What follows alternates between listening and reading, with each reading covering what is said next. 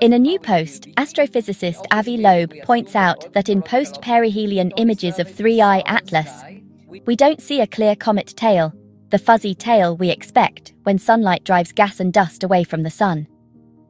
And yet, earlier observations show significant non gravitational acceleration. In other words, 3I Atlas seems to be pushed by something other than just gravity. According to Loeb, more than 13% of its mass would need to have been lost to explain that if it were behaving like a normal comet. So, what's going on? A massive object on a hyperbolic trajectory coming from outside our solar system without a typical tail some scientists propose weird possibilities. Maybe a very unusual comet, maybe something more exotic.